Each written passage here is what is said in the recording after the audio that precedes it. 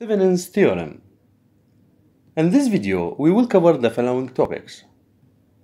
Thevenin's theorem statement, Thevenin's equivalent circuit, examples how to use Thevenin's theorem.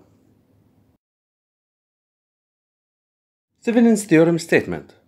Thevenin's theorem states that any linear two-terminal network consisting of sources and resistors can be replaced by an equivalent circuit consisting a single voltage source with a series resistance across the terminal of the load. So it is possible to simplify any complex circuit to an equivalent circuit with just a single voltage source and series resistance connected to the load. Now, how to find Thevenin equivalent circuit? Step 1. In order to find VThevenin, open the load resistor between the terminal A and B then calculate the open circuit voltage between them. This voltage represents VThevenin.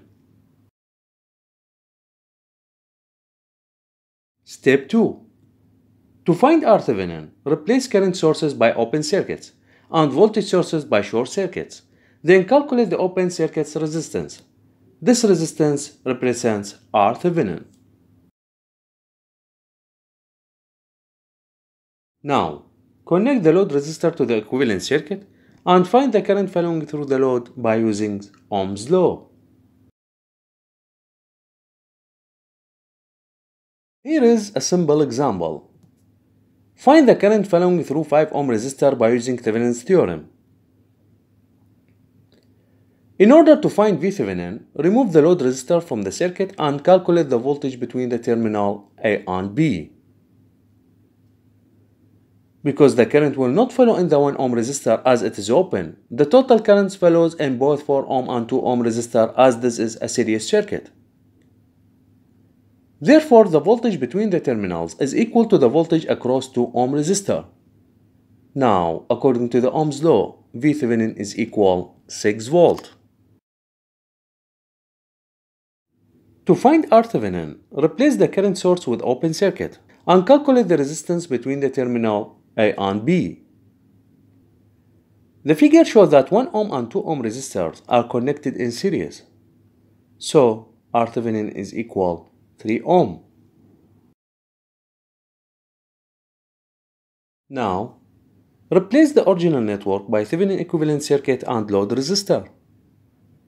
The current is equal 0.75 ampere. Another example. Find the current flowing through 3 ohm resistor by using Thevenin's theorem. To find V VThevenin, remove the load resistor from the circuit and find the voltage between the terminal A and B.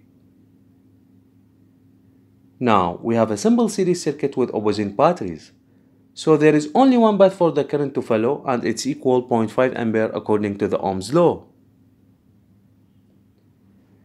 By applying Kirchhoff's voltage law to the left side loop, VThevenin is equal 12 minus 4i.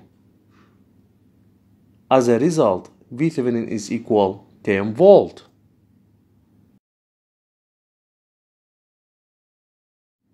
To find RThevenin, replace the voltage sources with short circuits and calculate the resistance between the terminal A and B. As shown in figure, 2 ohm and 4 ohm resistors are connected in parallel. So RThevenin is equal 1.3 ohm. Now we have VThevenin, RThevenin and R load. By using Thevenin equivalent circuit, the current flowing through the load is equal 2.3 ampere. Thank you for listening.